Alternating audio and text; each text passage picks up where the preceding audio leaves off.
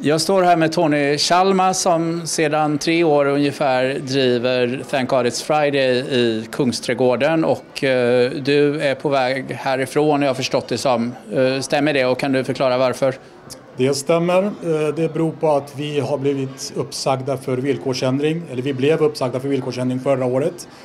Och eh, ja, det var en ny hyresvärd som köpte den här fastigheten och sa upp vårt hyreskontrakt och kom med ett nytt förslag. Eh, och det förslaget var så pass dåligt att vi väljer nu att lämna lokalerna. Vad var det som var ogynnsamt i eh, de nya villkoren? Egentligen allt, om jag ska vara ärlig. Det var en hyresnivå eh, långt över det vanliga. En hyra på närmare 15 miljoner kronor. För en restaurang som har 400 meter på gatuplan och en källare på 400 kvadratmeter. Alltså den befintliga hyran består av två komponenter. Den ena är en fast del och en rörlig del som beror på hur mycket vi omsätter här. Men den har väl landat i runda stängor runt 5,5 miljoner per år.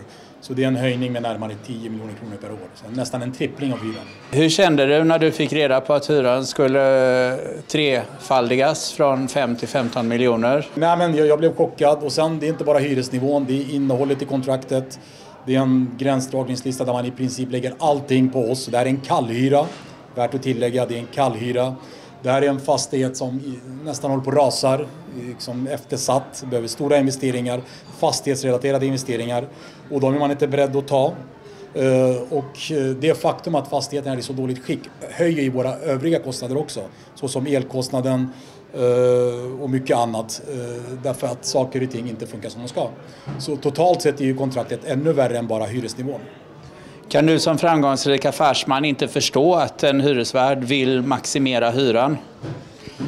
Ja, det, det, det ska väl alla hyresvärdar göra. Men eh, maximera är en sak och begära no någonting som är bortom all rim och reson är en helt annan sak. Det har ju gått nästan ett år sedan, sedan vi blev uppsagda och jag tror än idag så har den nya hyresvärden inte hittat någon ersättare till oss här utan letar febrilt efter någon ja, lyckosökare måste jag säga som ska teckna på liksom ett så dåligt hyreskontrakt. Du har eh, under din, dina många år i restaurangbranschen varit med om ett otal hyresvärdar antar jag. Hur skulle du vilja beteckna den nuvarande hyresgästen, eh, hyresvärden här, Mäler och Jakob Johanssons agerande jämfört med andra du har eh, kommit i kontakt med under din karriär? Alltså det här är nog det värsta jag har varit med om. Det finns ingenting som är i närheten.